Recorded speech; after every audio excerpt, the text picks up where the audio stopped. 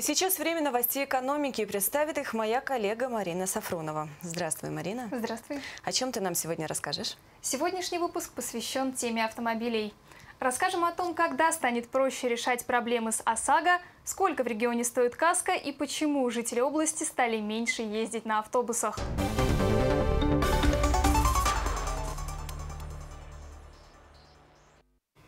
Белгородцы стали реже жаловаться в Банк России на страховщиков. Вместе с тем ОСАГО по-прежнему самая популярная тема. 44% всех обращений в Белгородское отделение Центробанка связаны с вопросами автогражданки и действиями автоюристов. Однако в будущем решать вопросы с ОСАГО станет легче. Осенью в России появится финансовый омбудсмен, который поможет регулировать споры в досудебном порядке ввиду а, наличия очень сложной ситуации и огромным количеством убытков непосредственно у страховщиков ввиду действия на рынке вот так называемых автоюристов и финансовых мошенников, предусмотрен вот этот посредник для того, чтобы уже в суд выходить по каким-то конкретным сложным делам, а урегулировать это все в досудебном порядке, чтобы не возрастали расходы на судебные издержки. Марин, то есть если я хочу получить максимальное страховое возмещение, я могу обращаться не к автоюристам, напрямую к финансовому омбудсмену, да? Для начала все равно нужно обратиться в свою страховую компанию. Если уже там не получится прийти к согласию по поводу суммы выплаты, тогда нужно привлекать финомбудсмена. Для граждан его услуги будут бесплатны. Рекомендую всем непосредственно за возмещением убытков, тем более сейчас приоритет возмещения убытков в натуральной форме, обращаться непосредственно в страховую компанию.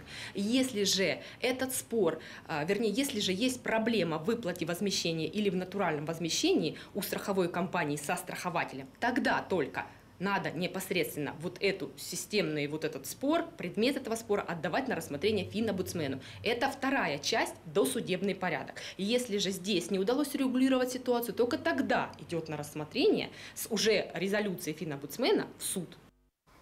Кстати, сами автоюристы тоже смогут обращаться к финомбудсмену, но уже за деньги. Продолжим тему страхования. Аналитики страховой компании «Эрго» проанализировали стоимость каска в 85 регионах страны и рассчитали коэффициент доступности этого вида страхования с учетом средних по региону зарплат. В Белгородской области каска оказалась доступнее, чем в целом по стране. Одну и две десятых зарплаты придется отдать белгородцам за такую страховку, в то время как остальные россияне должны заплатить больше – одну и три десятых зарплаты.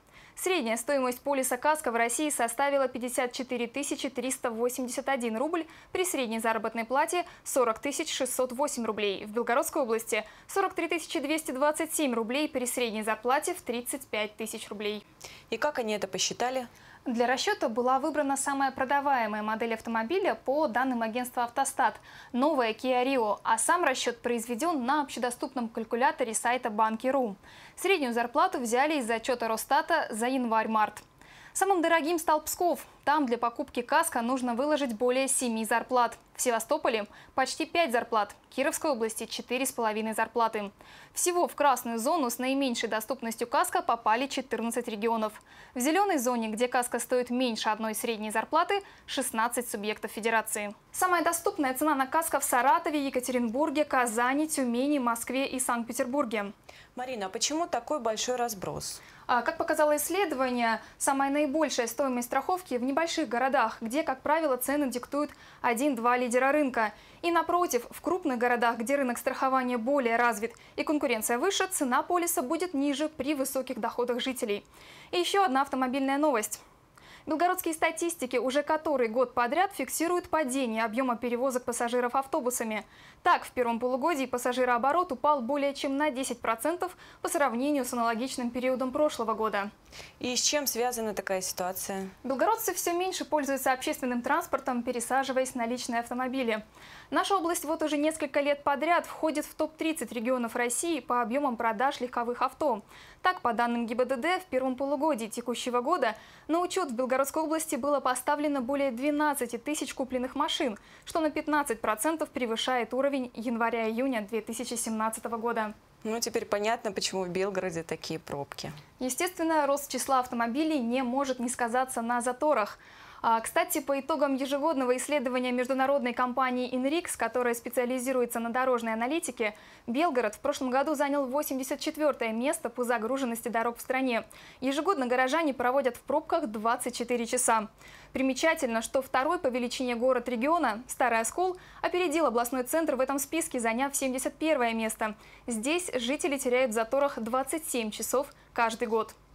Это были все новости на сегодня. Ходите пешком или пересаживайтесь на велосипед и сохраняйте не только здоровье, но и целый день в году. В студии работала Марина Сафронова. Спасибо, Марина. Ну а мы продолжаем выпуск.